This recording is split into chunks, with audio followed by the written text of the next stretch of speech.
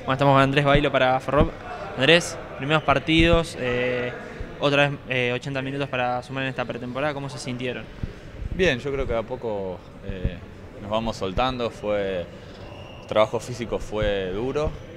Creo que estos partidos sirven para, empezar a soltarnos y llegar bien cuando arranque el torneo, que la verdad no sabemos cuándo va a ser. ¿Los tiene mal ese tema de no saber cuándo va a arrancar el torneo finalmente?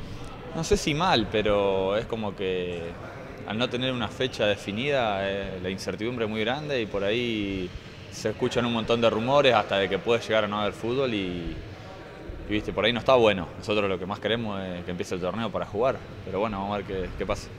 ¿Cómo viene siendo esta pretemporada? Vos nos remarcabas que viene siendo muy dura y esto sirve para soltar las piernas. Esta fue la primera vez que llegan eh, con tantos minutos quizás eh, de fútbol. Sí, la verdad que las dos semanas ya en, Pontevedra fueron, fueron las más fuertes y bueno, después acá ya empezamos un poco más con la pelota, a aflojar. Y sí, hoy hicimos bastante fútbol, habíamos jugado el jueves que también hicimos eh, bastante, así que creo que vamos por buen camino. ¿Qué les pide Marcelo Groschi eh, al equipo, quizás titular? ¿Qué, ¿Qué ha cambiado con respecto al semestre anterior que el tipo de juego era otro?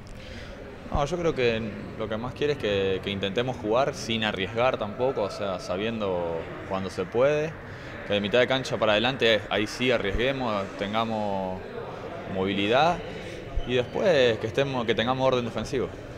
Cuando estaba Colioni te tocó entrar en un momento quizás de una decisión de un compañero y supiste hacer dueño del arco, más allá de que cuando tu compañero se, se, volvió, se recuperó, pudiste quedarte con el arco. ¿Es un volver a empezar esta pretemporada y un técnico nuevo o te sentís con confianza de, quedarte con el puesto? Yo creo que todo, toda la semana es un volver a empezar. Eh, todos los entrenamientos tenés que, que, dar el 100% y después bueno, el técnico será el que decide. Bueno Andrés, muchas gracias y a disfrutar lo que viene de la pretemporada. Todavía que no se sabe cuándo va a arrancar. Esperemos que arranque enseguida. Nos vemos.